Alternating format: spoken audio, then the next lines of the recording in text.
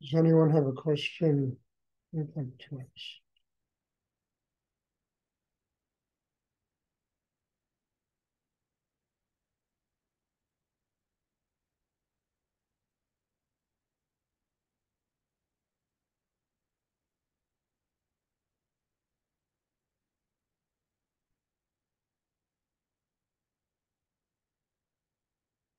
You I know this energy is it's very strong, and if you and myself, all of us, take it deep inside, it really is, you know, an energy of transformation, an energy of developing chakra system.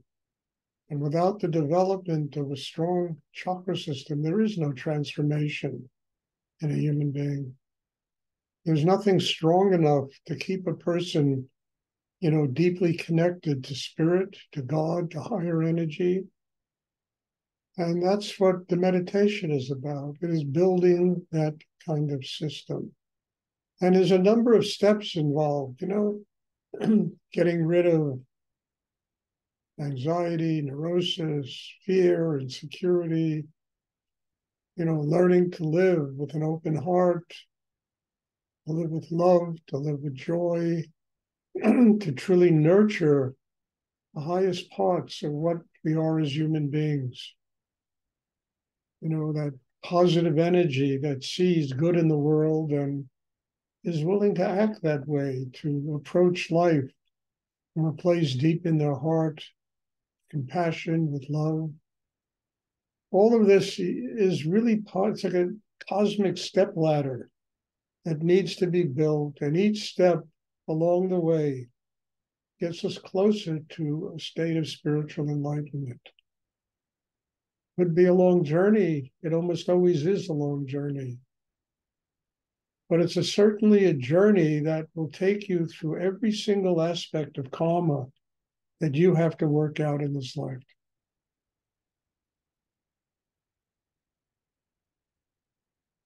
And ultimately, you know, look, what is it? It's God is love. I mean, that really is the answer.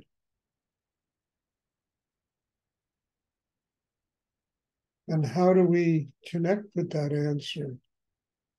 We are responsible for doing the inner work that enables our system to truly connect with that higher force in the universe. We're born here to do that, and we come back thousands of lifetimes until we finally learn how to do that.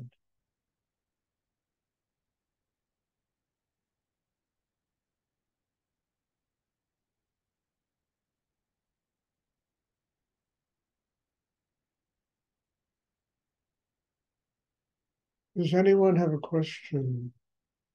Does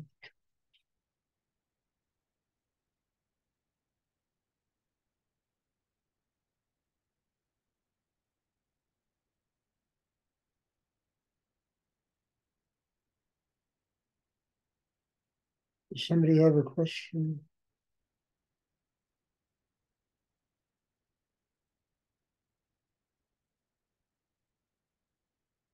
I mean, Rudi learned how to do that. I've gotten pretty far up the ladder doing that. Stan, I mean, it's,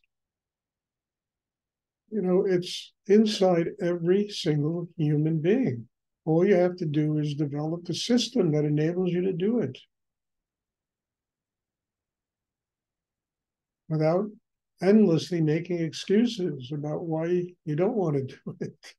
I got this, I got that, I got the other, I got blah, blah, blah, da, da, da, da.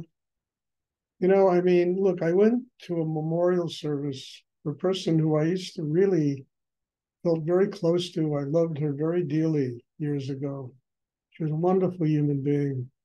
She was a student of mine. And I, and I knew this was going to happen. I met, I don't know, 15 people I haven't seen in 20 years that used to study with me when I had that big loft on Fourth Avenue in Manhattan and I ran a center. And it was, you know, look, it, there was a lot of hugging and a lot of gratitude and people telling me how thankful they are that they had studied with me and what they learned and blah, blah, blah.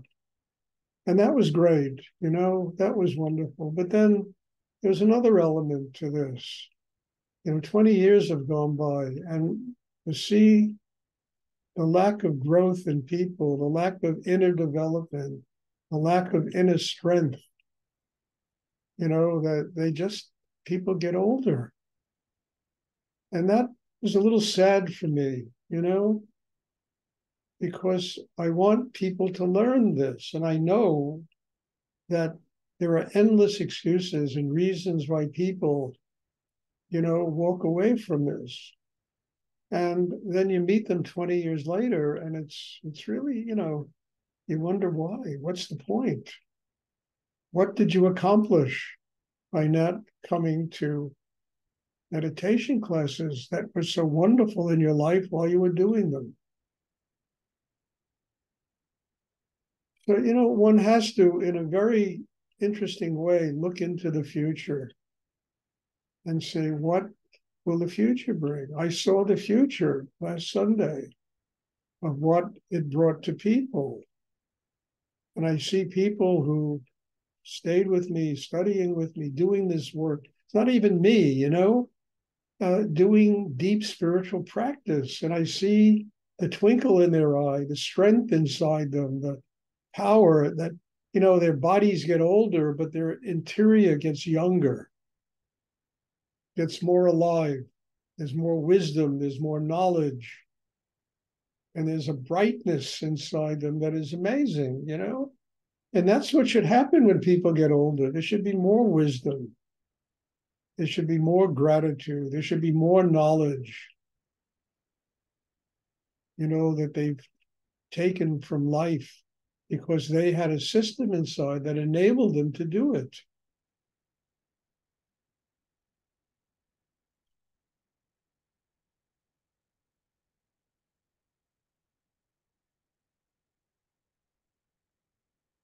I'm, you know, I'm just saying not to scare anybody, but just God puts very incredible things in our life and then we find millions of reasons not to do them. But it really puts extraordinary things, opportunities to grow, to have a spiritual life, to and then, you know, one can't live their life with excuses not to do the things that God has put in the, into their life. And there's me also. I'm not strong enough to nurture the whole world, and this is not right for everybody. But there is something that is right for everybody. And if this isn't right, the person truly has to find something else.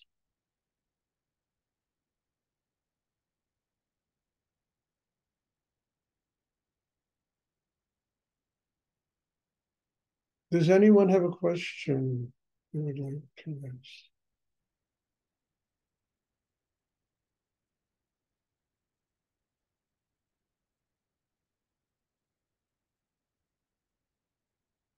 you would have a question. Yes. Do you feel that working with your picture is still a very strong opening to your picture? Still a very strong uh, way to meditate? Uh, what I think is that everybody should sit down for at least a half hour a day. And if you do sit down for a half hour a day, you should have a picture of a teacher, be it myself, be it Rudi, Nityananda, be it the picture of Christ, be it a picture of the Buddha, somebody that is in some state of meditation that can transmit that energy. When you sit that way, it's not going to be as strong as one of these classes, but it'll be sustaining the work. You understand? Taking the work from and learning how to do it independent of these classes. So when you come to these classes, you bring a higher level of yourself. So it's, you know, yes, I mean, look, I, a picture of myself, you know, it's a picture. But what I'm saying is, is that the doing it of it, take a half hour every day at home, set up a little altar, you know, a picture of this or that, you know, a little statue, something, and sit down. And that's your quiet place. That's your place where you work on yourself a half hour a day at home. Now, this is not fanatical. You know, it's just something that sustains the work in between the classes. And then you bring a better level of yourself to the classes. So the work of these classes can go even deeper inside you. I have retreats, you know.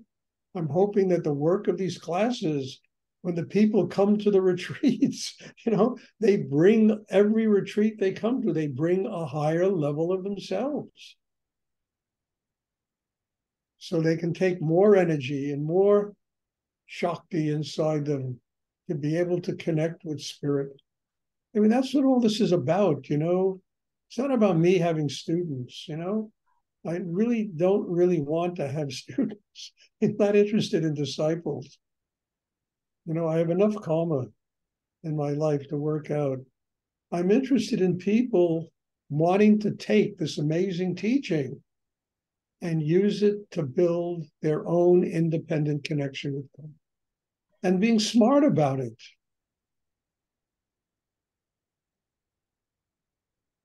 And don't live a life of excuses, live a life of, you know, look, when you truly need to do what is being taught here, I promise you, it's like you can wave a finger and it's like Moses waving his wand and the Red Sea parts. You know, the universe will make it possible for you to do it. Suddenly, your whole life will begin to reorganize itself, and there'll be an open space for you to sit and do this. Doesn't mean you don't work, you don't have family, you don't, but it all just works that way. It's like a miracle that it happened to me when I met Rudi, and I find this. This I said, "This is amazing what he's teaching." I got to go to his class my whole life changed.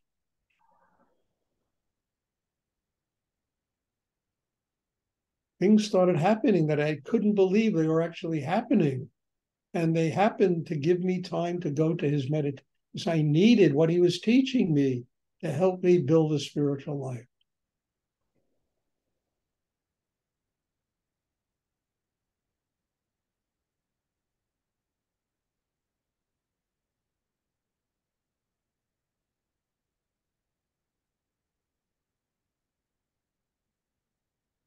So it's all about that. You know, it's about how deeply we need. It's about sustaining the work. It's about doing what's possible so that every class you come to is a little bit better than the last one you were at. The growth goes deeper inside.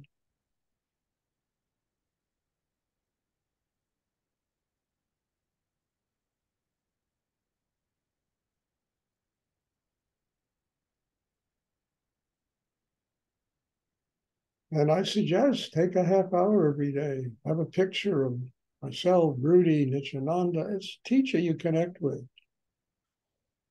It'd be a picture of Krishna or Buddha. You know, it doesn't matter. Somebody that you can focus your attention on, sit and do the meditation. And try to do it as a way of sustaining the work so that when you attend the classes, the classes will take you to a much higher place in your spiritual evolution.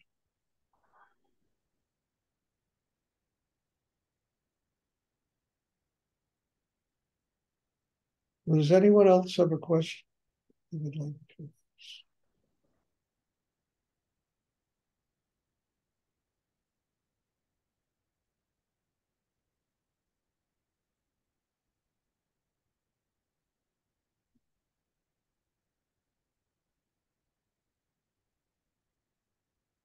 And when people stop coming to these classes, you know, I mean, look, I just take their names off my list. They don't show up here for three weeks, two weeks, three weeks, a month.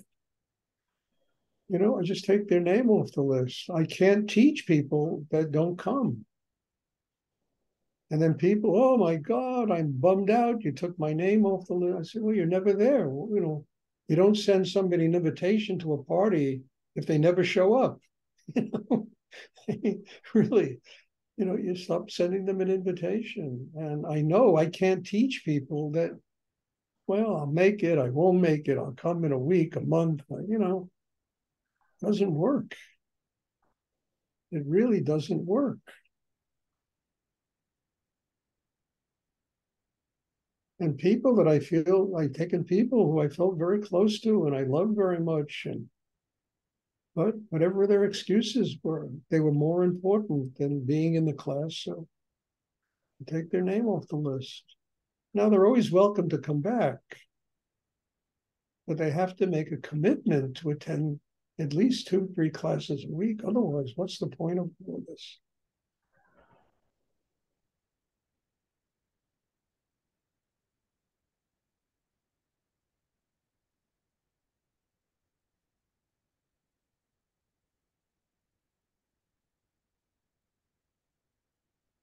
Does anyone else have a question?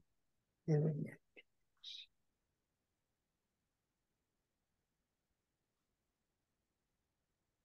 if there are no more questions, then God bless you all. Thank you. As I say, thank you for being here, for being my teacher, for your need, making tremendous demands on my depth of work and where I go to in these meditation classes. God bless you all, you know. And thank you. Thank and you. There'll be a class on what is it, Wednesday, tomorrow. Be a class, and I'm looking forward to seeing everyone. God bless you. Thank you. Thank you. You're welcome. Night. Good night.